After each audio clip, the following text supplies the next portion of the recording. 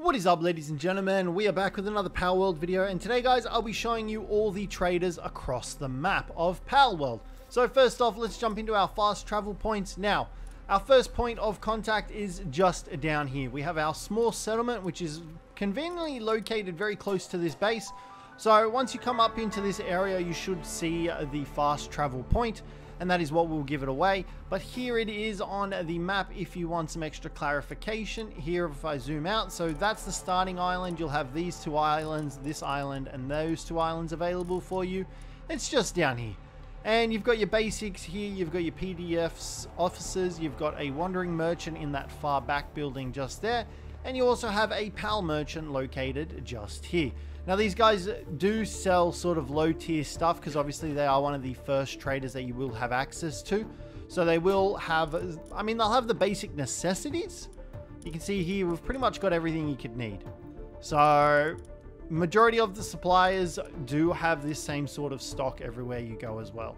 Now the next settlement is located just up here. It is the Dune Shelter, so it is quite a trek away. So do keep mind of that. We'll come over here and show you guys what is out here. So there are actually three traders, four traders actually out here in the Dune Shelter. So if you make your way... That wasn't supposed to happen. So, like I was saying, you want to make your way into uh, the settlement. Now, it is a... I mean, it's a settlement. What's left of one anyway? I don't know what destroyed it all.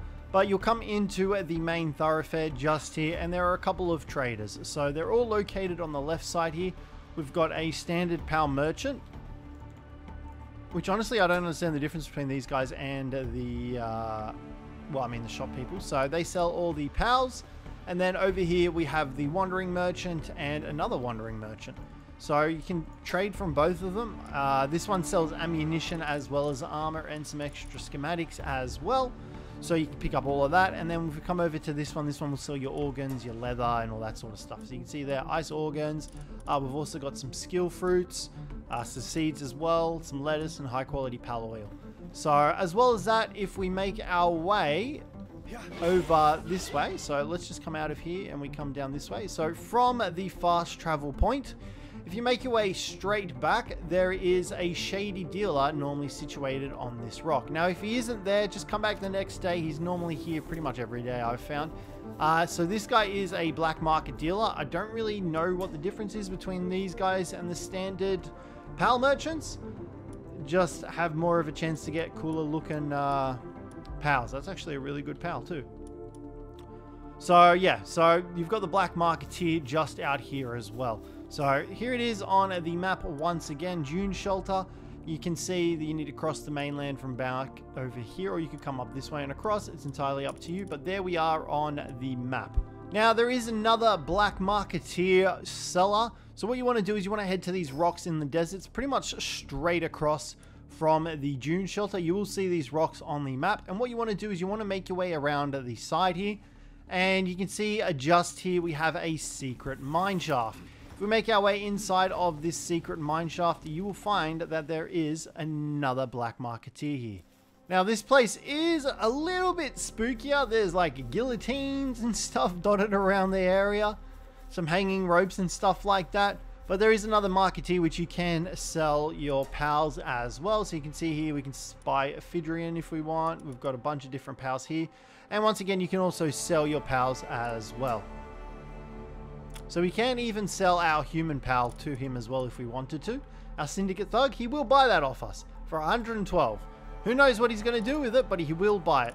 So keep that in mind as well. And finally, the final marketplace is located here on the southwest side of the map at Fisherman's Point just here. So this is kind of like your I mean, your beachside village, I guess you could call it. You've got a couple of merchants here. So we've got a wandering merchant just here, which once again sells uh, the ammunition and weaponry as well sometimes. And if you make your way straight past that merchant, you will find the PAL merchant down here as well. There he is there. He's got some funny business. No funny business, he said. But there we go. You can see there you can also buy some pals from him as well. There is also a wandering merchant in this village as well. All you need to do is simply walk left from the wandering merchant, the first one, and this guy will have all your monster parts and all the other stuff that you can get. And guys, that is all of the traders located in Palworld so far. Let me know if you found any more, but like I mentioned, I've explored majority of the map. There's not really much else for me to explore, and they are all the traders that I've found. Nonetheless, hopefully you guys enjoyed this one. If you did, don't forget to leave a like and subscribe down below for more. But other than that, I will catch you in the next one.